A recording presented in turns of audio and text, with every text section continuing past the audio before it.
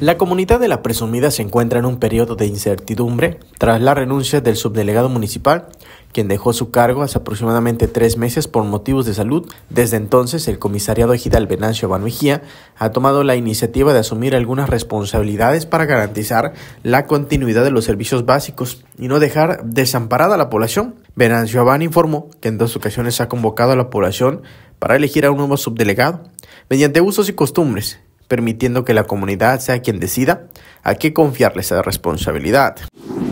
Se ha convocado, como bien lo acabas de decir, pero la gente no ha salido para que decidamos que se ponga alguien mientras que el delegado tenga licencia.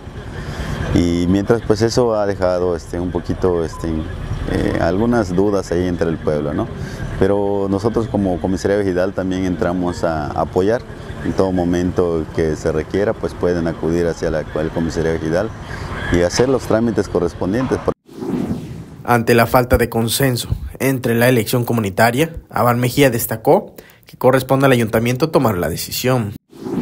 Tendría el ayuntamiento que este, pues mandar a una persona como interinato, pero ya con un oficio de por medio, porque es una representación social en la cual tienes que lidiar con, con varias, varias situaciones ¿no? en el pueblo, que ahorita no lo tenemos. Nosotros tenemos la representación de ser comisaría vegetal, pero en el núcleo agrario, donde sí tenemos facultades. Entonces, si en caso de que no se diera para este mes, pues ya para enero tendrían que nombrar una, una persona. La ausencia de un subdelegado municipal ha generado inquietud entre la población, ya que este cargo desempeña un papel importante en la gestión y resolución de diversas problemáticas locales. Para Canal 10 informó Juan Ojeda.